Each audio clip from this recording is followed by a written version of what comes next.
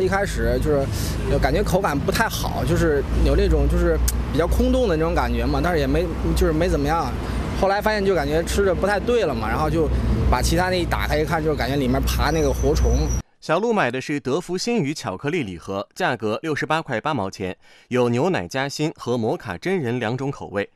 从小鹿拍的视频可以看到，巧克力上有白色的虫子在爬。他说，巧克力买来后在冰箱里放了一个月，九月九号那天才拆开，没想到吃了几颗就发现了虫子。盒子上有客服电话，他已经打过了。那边的客服的话，就是一直在说，就是跟上级去领导做一个反馈，然后他给出的方案就是是就是说把这一盒赔给我，就退给我钱，然后再赔我赔给我两盒的价钱，也就是大概是总额是一百一百几一百多的这个金额嘛，我就觉得这个肯定是没有办法接受的。就是小鹿现场打开一颗巧克力的包装，也发现了虫子。这这个是刚打，这不我刚拆开这蓝色，你看到没？这个是活的，看到没？找到小鹿买巧克力的这家萧山身边超市。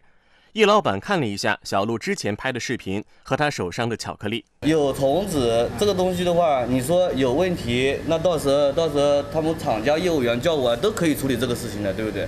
我我们只是说那个我们有有有那个从正规渠道进过来就可以了呀，对不对？我们又没有说到处外面去去那些乱七八糟的地方去拿货。易老板说，之前小鹿没跟他反映，否则他马上就会联系厂家业务员。现场，小鹿又打了德芙巧克力厂家马氏食品中国有限公司的电话。这个具体的原因的话，我们现在是没有办法判断的。但是出厂的时候，经过高温的话，产品是不会携带有这样的呃物质的。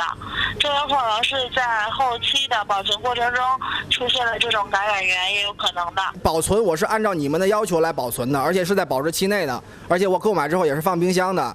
我拆完封之后，你这里面就有已经有活虫了情况下，你说你外外界污染源造成的，我是不认可的。客服人员表示，考虑到客户体验，在向公司申请后，可以做出一定的补偿。然后现在的话呢，就是我们可以一次性给到您五百块钱的这样一个赔偿。你说我买盒巧克力，然后本来是一个节日的一个送一个惊喜这种的，对吧？然后打开一看，还就是还吃出这种虫子，对。我的想法是因为我们查了一下相关法律，就最少是就是最少是不能低于一千块钱赔偿的。这件事，小陆已经反映给了市场监管部门。